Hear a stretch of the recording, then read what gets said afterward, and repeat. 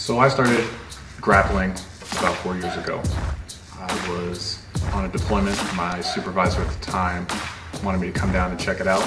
And so I did, and we had gotten back, and I fell in love with judo.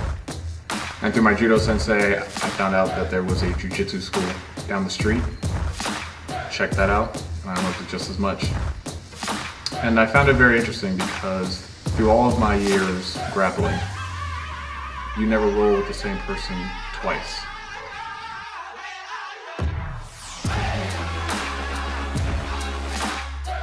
And that's amazing to me because what greater philosophy is that than to be a part of someone's growth and help them learn?